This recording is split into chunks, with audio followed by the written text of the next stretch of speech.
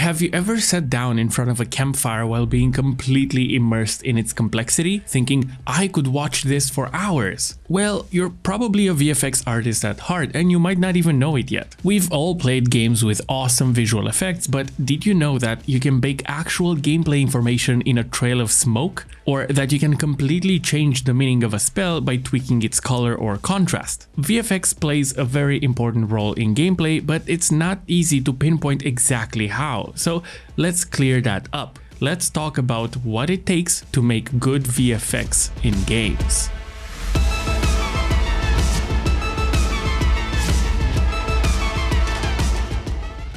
Short for visual effects, they are all the juicy things you've seen in your favorite games that feel good when you play them. Fireballs, healing auras and spells, these are all VFX and their main purpose is to be in service of gameplay. Ultimately, that's the goal of visual effects in games, and it's something that's echoed in all the corners of this industry, from AAA League of Legends VFX guides all the way to indie games. When it comes to crafting a good visual effect, there are a lot of variables that must be accounted for, like color, shapes, contrast, and timing. And I'll go into details about those in a second, but the interesting thing is that VFX in games are not really required, just like good sound design or good animations. But if they are not there, you immediately notice that something is missing. For example, look at this gameplay footage, and without dissecting it too much, make a mental note of how fun it looks to play. Now look at this clip from the same game but with all the visual effects taken out. It's nowhere as engaging, it feels like it's unfinished, lacking that oomph.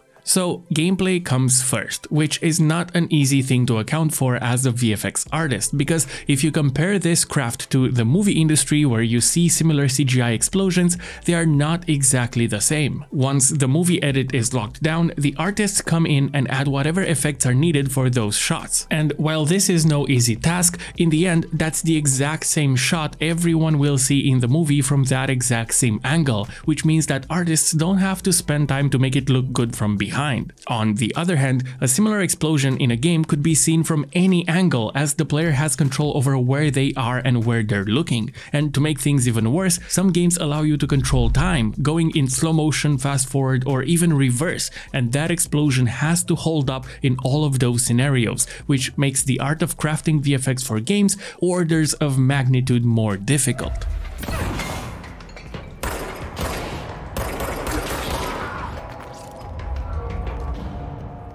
And the problems don't stop there. Technical limitations are also very difficult to account for, where in a movie, the visual effects are simulated and baked into individual frames, making up each scene. So a huge slow motion explosion covering the entire screen is no biggie, but attempting to recreate a similar explosion in a game and store it as individual frames will quickly make you realize that you've just filled the entire memory budget for that game, not to mention the processing power required to play back that explosion. So as a game VFX artist, you have to be very frugal with your resources. Uh, if you make a little projectile impact hit in a MOBA, you know that the player's camera won't be able to get very close to it, so you can make a judgment about its level of detail and resolution to keep things running smooth and not piss off the programmers on your team. And this brings me to a little realization I had while talking to various professionals from the industry about this topic. The title is VFX artist, but in practice, in the process of creating visual effects for a game, one must have knowledge of many game development disciplines, starting off with animation knowledge, followed by texturing and the ability to navigate shader nodes. There must be a good understanding of gameplay and sometimes actual programming knowledge in order to optimize and implement the VFX in the game and in the process of doing so, there must be a tight communication maintained with the design, art, animation, and writing departments, followed by sound design, lighting, and many other disciplines I'm forgetting to mention right now. So, just like a designer on the team, the VFX artist must juggle a lot of responsibilities, which is why there are not many VFX artists in the industry compared to other disciplines. It's a bit intimidating to pursue a career in visual effects, but luckily there are more and more resources available for those who are interested, like the VFX Apprentice courses linked in the description below. There is a story from the development of Diablo 3 that's a good representation of lack of communication. The designers wanted a skill called Ballista, and in their mind it was a low-level skill that you outgrow, having to click multiple times to take down a weak enemy. On the other hand, the VFX artists had a different approach. we imagined that it would be a mystical ballista that's almost bigger than the character themselves. And it would look like this.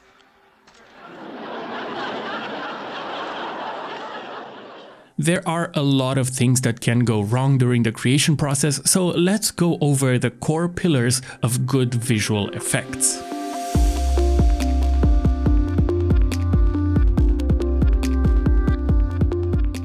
As most disciplines related to game development, there are many do's and don'ts, but it seems that the core attributes of good visual effects are largely agreed upon by professionals from this field. Starting with the shape. This is easily used to communicate direction or area of effect. If you want to make something inviting, make it round and soft, and if you want to make something uninviting, make it sharp and spiky. Players are already accustomed to standards and if I show you this shape, you probably already know what it stands for. So use shapes accordingly. If you're making a healing spell, consider sneaking little plus signs as floating particles because players will subconsciously register those hints. Shapes are the starting point for your VFX. So for example, you could use a cone to determine the direction of an attack. However, you can push it further with the use of contrast. Do you want to communicate how powerful a spell is? Contrast is the answer keep it low for weak stuff and ramp it up to beef up any spell. Going back to the previous example, this shape tells you the direction in which you're about to cast a spell. But what if it deals more damage in the center rather than the edges? Well, that can be communicated with contrast. And the same goes if the damage is closer to the casting point, fading out as it goes further. A well-placed gradient goes a long way. And even though it might be tempting to make everything be bright and powerful, it's probably best to practice some restraint. Keep in mind, if everything is powerful all the time, nothing really ends up feeling powerful anymore. That's the definition of contrast. But if you want to differentiate between visual effects even further, consider making use of color. Defining the visual identity of a character through the color of VFX would be a very good use of this. Are they angry all the time or peaceful and all about nature? Here's a cool practice scenario. Place a puddle in your game. Make it light blue and it's simply water, completely harmless, but make it shimmer with color and it's now gas. This communicates to the player that they can lure some enemies in it and maybe cast a fire spell to set it ablaze. How about turning it green? It's now poison, red for blood, and this list keeps going on forever and ever. But color doesn't tell the whole story as timing is probably one of the most important properties of visual effects. Look, that was intentional, okay? It was a joke. I swear to God, if I see comments about this fuck you could have the best looking particles ever, but if they are animated poorly, the entire effect falls flat. So following basic animation principles, you should avoid any linear motion and instead embrace easing curves. They are your friend. Elements should squash and stretch to look dynamic and impactful, and if you're making a powerful spell, there should be proper anticipation with build-up. A good practice is to try and graph the intensity of your VFX to determine what they represent. A rocket projectile would have a very flat intensity curve as it's flying through the air, while an explosion would have a strong start with a trailing tail. A blinking light will show up as repeating sharp spikes, while a portal to another dimension would be a smoother looping curve, would be a smoother looping curve, would be a smoother... If you want to make something inviting to the player, make it slower than the human heartbeat. And if you want to make it repulsive, make it faster. So by simply setting the tempo of a VFX, you could influence how attractive or repellent it is to players. So shape, color, contrast and timing are the core pillars of good VFX and you'll see these terms repeated in several talks from professionals around this industry. But I'd like to shine a light on another attribute that I think is equally important and that is relatability. Mentioned by Julian Love in his GDC talk, he pointed out that VFX artists tend to fall into the trap of driving effects by technology, getting excited or distracted by new tools or a piece of tech that allows for visually impressive VFX, which doesn't tend to lead to the best results, when instead artists should create visual effects based on concepts. If your character casts a spell that needs VFX, ask yourself where do their powers come from? Is it from the air, the ground, or from within the character? Nailing down the description of the action will result in VFX driven by concepts that are more grounded and relatable to players. They are clearer and easier to inherently understand, so remember, keep your visual effects relatable. Now, that's enough talk about the pillars of VFX, so that means it's time to check out some awesome examples.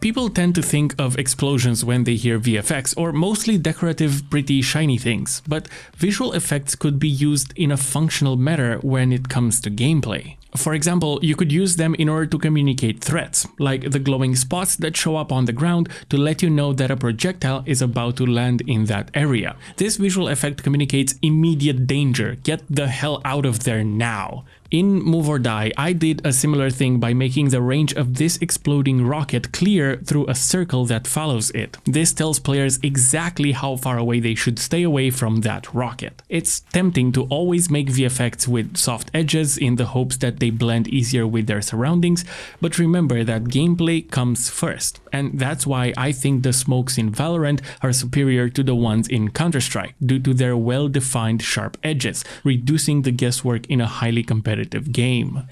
Down A. Here is an example of a frost bomb from when Diablo 3 came out. When they are spawned, these little crystals show up that gradually grow and explode causing damage around them. This shows the player where the damage happened, indicated by the marks left on the ground after the explosion. This does not benefit gameplay however, so the effect was patched later on to show the player where the damage is about to happen, indicated by the circles around the crystal before it explodes. And as the artist responsible for these said, this change doesn't make them look better. They look gamey, but they tell the player what they need to know, which is ultimately what's important. Another cool examples relating to threat VFX are snipers. In some games, whenever a sniper is scoped in and looking in your general direction, you'll see a little light reflection off of their scope. This is not only a great way to signal threat, but it's also diegetic. It kind of makes sense that it would happen, and if you're lucky and they miss their shot, you'll immediately know that because of the gunshot sound effect. But the VFX of the bullet smoke trail gives you additional information about the direction and source of that gunshot. Oh my god! Visual effects can also be used to communicate how powerful something is. When you shoot a rocket that creates a fireball when it hits a target, you have to make sure it's the right size. Behind the scenes, the engine determines the area of that splash damage through an invisible bounding box, and if there is a mismatch between the visual fireball and the actual bounding box, then players won't be able to make a calculated decision based on what they see on their screen. A good example of emphasizing power through visual effects is the twisting nether card in Hearthstone. Just like other cards, it destroys all minions on the board, and from a mechanical perspective, this can be simply done by triggering the destroy animation on every minion, but that doesn't really look or feel that good. So by embracing the theme of the card, from a lore perspective, it destroys those minions by sucking them into a portal, and without changing the outcome but cranking up the VFX, you get something like this which definitely makes me feel better whenever I play this card. Uh, going back to Move or Die, in the process of juicing up the death animation, I have also added something I call death splatters. They are these big splashes of paint that show up in the background whenever a player is eliminated, and aside from looking visually pleasing, I designed them with a specific purpose in mind. Because the game is fast paced, you are required to keep your eyes focused on your own character in order to stay alive. So I made these big in order to tell you that someone died by noticing the death splatter with your peripheral vision without having to take your eyes off of your character. Its location tells you exactly the spot where that player died and their color tells you who that player was. Additionally, death splatters also slowly fade out and desaturate over time, which adds another layer of information baked inside of them, which is how long ago that player died. If there are a lot of death splatters in a particular spot, it's very likely that you should be careful in that area. So this was my approach to design a piece of visual effect that benefits gameplay.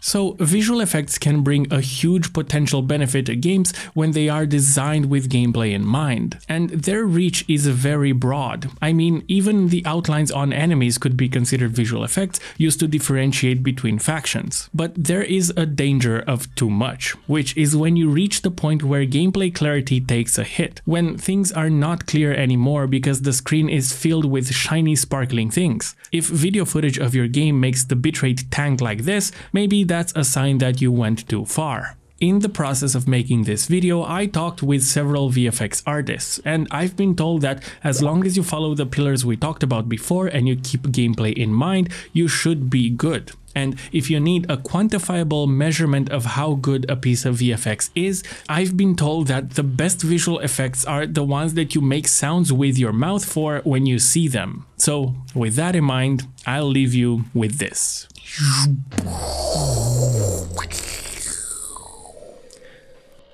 Uh, what am I doing with my life?